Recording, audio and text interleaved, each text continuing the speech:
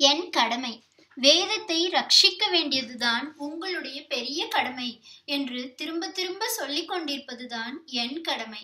நீங்கள் நான் சொல்வதை கேட்டாலும் கேட்காவிட்டாலும் உங்களை காரியம் பண்ணும்படி செய்ய எனக்கு சக்தி இல்லாவிட்டாலும் இதுதான் உங்கள் காரியம் இதுதான் உங்கள் கடமை என்று வாய் வார்த்தையாக சொல்லவாவது எனக்கு சக்தி இருக்கிற மட்டும் ஓயாமல் ஒழியாமல் நச்சு நச்சென்று இதை நான் சொல்லிக்கொண்டே இருக்க வேண்டியதுதான். வேதத்துக்காகத்தான் ஆச்சாரியால் இந்த மடத்தை ஏற்படுத்தியிருக்கிறார். அவர் பெயரை வைத்துக்கொண்டு உங்களை பாக்கி எப்படியெல்லாம் நாம் ஏமாற்றினாலும் இந்த வேதங்களை காப்பாற்றி கொடுக்கும்படியான பொறுப்பையாவது சின்சியராக பண்ணிவிட்டால் அது ஓரளவு தோஷ நிவர்த்தி ஆகும். இதையும் பண்ணாவிட்டால் மகா பெரிய தோஷமாகிவிடும். அதனால்தான் அலுப்பு தட்டினாலும் சரி என்று திரும்ப திரும்ப வேதரக்ஷணத்தை சொல்லிக் கொண்டிருக்கிறேன் வெறுமே சொல்வதோடு இல்லாமல் மேலே சொன்ன மாதிரி ஸ்தூலமாக பல திட்டங்களும் போட்டு நடத்தி வருகிறது. இதற்காக உங்களிடம் யாச்சகம் பண்ணுகிறேன். யாச்சகம் என்று இல்லாவிட்டால் ஆக்ஞை என்று வேண்டுமானாலும் வைத்துக் கொள்ளுங்கள். எப்படியோ ஓரபடி என் காரியம் நடந்தாக வேண்டும். வேதம் ஓதிய வேதியர்கோர் மழை நீதி மன்னர் நெறியினர்க்கோர் மழை மாதர் கற்புடை மங்கையர்க்கோர் மழை மாதம் மூன்று மழை என பெய்யுமே என்று சொல்லியிருக்கிறது. மாதம் மும்மாறி பெய்தால்தான் எப்போதும் பூமி குளிர்ந்து பயிர் பச்சை சமிருத்தி வளம் இருக்கும். பிராமணர் முறைப்படி வேத அத்தியனம் பண்ணினால் அதற்காக மாசம் ஒரு மழையும் ராஜா நீதி தவறாமல் ராஜபாரம் பண்ணினால் அதற்காக ஒன்றும் ஸ்திரீகள் பதிவிரதா தர்மம் தப்பாமல் இருந்தால் அதற்காக ஒன்றுமாக இப்படி மும்மாறி பொழிகிறது என்று சொல்லியிருக்கிறது.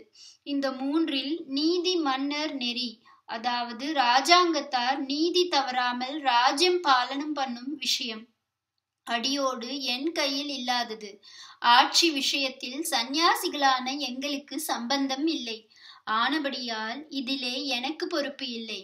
ஆனால் பாக்கி ரெண்டிலும் தர்மத்தை ரட்சித்து தர வேண்டிய ஒரு மடத்தின் சாமியார் என்ற முறையில் எனக்கு நிரம்ப பொறுப்பு இருப்பதாகவே நினைத்து கொண்டிருக்கிறேன்.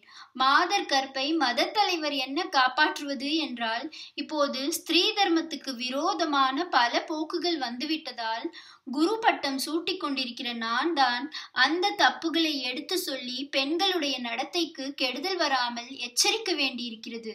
பால்ய விவாக காலத்தில் பெண்கள் தப்பி போவதற்கு ரொம்பவும் குறைச்சலாகத்தான் சான்ஸ் இருந்தது.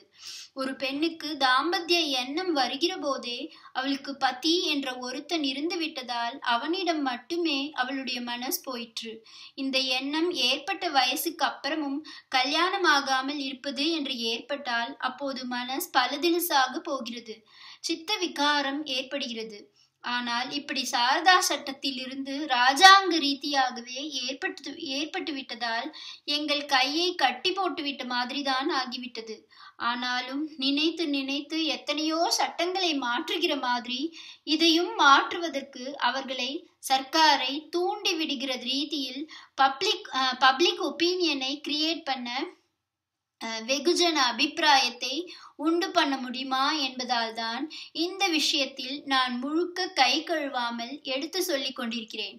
ஆனால் பெண்களுடைய மனோபாவம் பெண்ணை பெற்றவர்களுடைய மனோபாவம் எல்லாமே இப்போது விபரீதமாக மாறி கல்யாணத்துக்கு முயற்சி பண்ணாமல் காலேஜில் கோ எஜுகேஷன் முறையில் ஆண் மாணவர்களோடு கூட்டு படிப்பு படிப்பது அப்புறம் புருஷர்களோடு உத்தியோகம் பண்ணுவது என்றெல்லாம் ஆகி வருகிறதை பார்க்கிற போது உள்ளுக்குள்ளே இரத்த கண்ணீர் விட்டுக்கொள்வதை தவிர ஏதாவது பண்ண முடியுமா என்று நம்பிக்கை போய்கொண்டுதான் இருக்கிறது.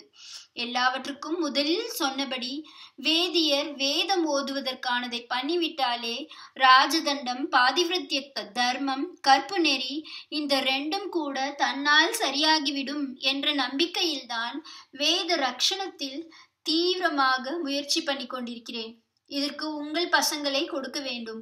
பணத்தையும் கொடுக்க வேண்டும். பணமில்லாத குடும்பத்து பசங்கள் வேத வித்யைக்கு வருவதற்காக அவர்களுக்கு தர வேண்டிய நிதி உதவியானது உங்களில் பணமுள்ளவர்களிடமிருந்துதான் வர வேண்டும். கற்றுக் கொடுக்கும் வாத்தியார் சம்பளம் புஸ்தக செலவு பாடசாலை பராமரிப்பு எல்லாவற்றுக்கும் பணம் வேண்டும். இதற்காக ரொம்பவும் ஸ்வல்ப அளவிலேயே ஆரம்பித்து காணிக்கை திட்டம் வைத்திருக்கிறோம். மாசம் ஒரே ஒரு ரூபாய் செலுத்தினால் போதும். அதற்கு பிரதியாக நீங்கள் வேத மாதாவுக்கு செய்கிற கைங்கரியத்தின் புண்ணிய பலனோடு கூட இங்கே மடத்தில் நடக்கிற சந்திரமௌலீஸ்வர பூஜா பிரசாதம் விபூதி குங்குமம் குங்குமம் மந்திராட்சத்தை உங்களுக்கு தபாலில் அனுப்பப்படும். உங்கள் நட்சத்திரத்தை தெரிவித்து பணம் அனுப்பினீர்களானால் மாசம் தோறும் உங்கள் நட்சத்திரத்திலேயே பிரசாதம் அனுப்பப்படும்.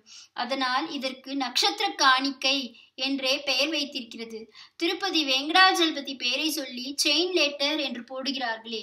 இந்த லெட்டரை காப்பி பண்ணி இத்தனை பேருக்கு அனுப்பாவிட்டால் கண் போய்விடும் கால் போய்விடும் என்று மிரட்டி எழுதுகிறார்களே. வெங்கட்ராமன சுவாமியின் பேருக்கு பயந்து கொண்டு அநேகம் பேர் காப்பி பண்ணி அனுப்புகிறார்களே. அந்த மாதிரி ஏதாவது மிரட்டி உருட்டியாவது இந்த வேத தர்மத்துக்கு வசூல் பண்ண முடியுமா என்று எனக்கு இருக்கிறது. அதிகம் வேண்டாம். மாசத்துக்கு தலைக்கு ஒரு ரூபாய் தான் கேட்கிறேன். பிடிக்கிறதோ பிடிக்கவில்லையோ சர்க்கார் வரி போட்டு விட்டால் கொடுக்கிறீர்களா இல்லையா? அப்படி இதை நான் போட்டிருக்கிற டாக்ஸ் என்று வைத்துக் கொள்ளுங்கள். நான் நடத்துகிற கடுகத்தனை சர்க்காருக்கு தர வேண்டிய வரி இது. இதற்காக பீச்சு சினிமா இத்தியாதியில் துளி குறைத்து கொண்டால் போதும். உங்கள் கடமை என் கடமை ரெண்டிலும் ஒரு பங்காவது பூர்த்தியானதாக ஆகும்.